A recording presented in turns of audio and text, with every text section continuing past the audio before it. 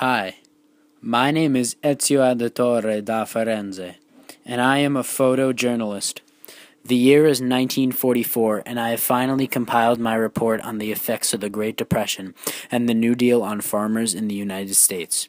Here we can see an operated farm in the year 1928, one year before the Great Depression. Things were simple and life was a regular routine. The Great Depression hit the farmers hard in the early 1930s. Prices for their crops dropped so low that they struggled to pay for their farms. To try to solve this, they grew even more to make up for the losses. This made matters worse. The situation became unbearable when an ongoing event called the Dust Bowl hit. This was a period when severe dust storms were occurring on most American prairie lands. Of course, this meant that there would be no hope for farmers at all now that they couldn't even harvest or grow their now low priced crops. It was the year 1933 when Franklin Delano Roosevelt took office. Everyone seemed to know that things could only get better, as the current situation really seemed to be the lowest possible. Roosevelt announced an economic program that he believed would work to turn the economy around. It was called the New Deal, and it was aimed to help farmers as well.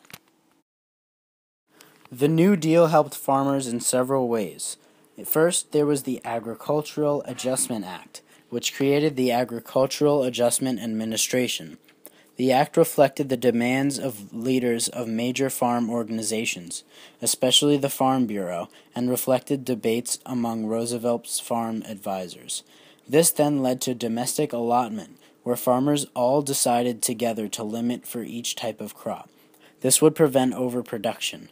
Many people lived in severe poverty, especially in the South. Major programs addressed to their needs, including the Resettlement Administration, the Farm Security Administration, the Rural Electrification Administration, the Tennessee Valley Authority, and rural welfare projects sponsored by the WPA, NYA, Forest Service, and CCC, including school lunches, building new schools, opening roads in remote areas, reforestation, and purchase of marginal lands to enlarge national forests.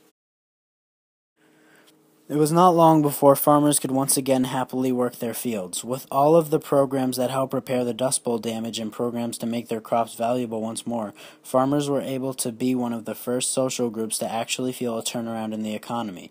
The Great Depression was a miserable time for almost everyone, especially farmers, but the New Deal and many other smaller scale efforts that we all come together in times of need to provide show us that we can get through events such as this and come out often stronger.